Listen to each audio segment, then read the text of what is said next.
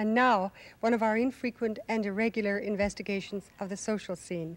The reporter is Walt DaCosta. From the outside, this looks like an ordinary downtown Toronto nightclub. A popular one, because more often than not, there's a lineup.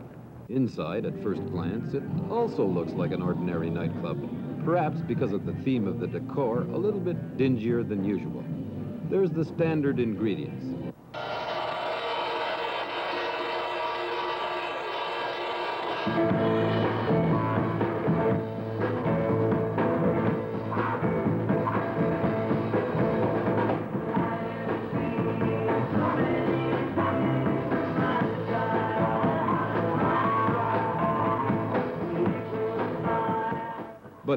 There are 300 seats here, and they are filled every night of the week, weekdays as well as on the weekend.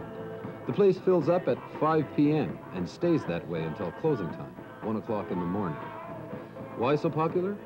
Because single girls not only can come in here without escorts, but do. The females come here to meet the males, and the males come because lots of females come in to meet them. This is a dating bar, one of the first and one of the most successful in English-speaking Canada. Quebec has similar operations, but the trend is just starting in the rest of the country. Linda Moore is a 21-year-old office worker at City Hall. She recently broke up with her steady boyfriend. Do you feel nervous about coming to a place like this? I feel a little uncomfortable when I'm walking in. Yes, I Why? Why? do. Because there's a lot of fellas here, and obviously everybody's here to meet people, and everybody's watching the door as people file in. A lot of people don't approve of girls going out without dates to a place where you can drink. The clientele is mostly downtown office workers in the 21 to 35 year old age bracket, with the emphasis on the under 30s.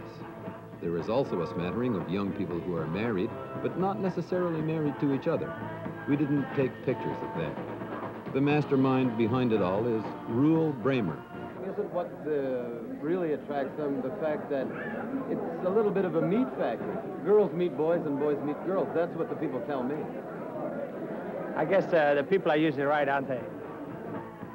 Maybe this is all a sign of the times, an indication of a more liberal morality. Maybe you could call it a battle that the Women's Liberation Front doesn't have to fight. Maybe it's one answer to a society that seems to be growing more and more impersonal every day. Whatever. It's romance, 20th century style.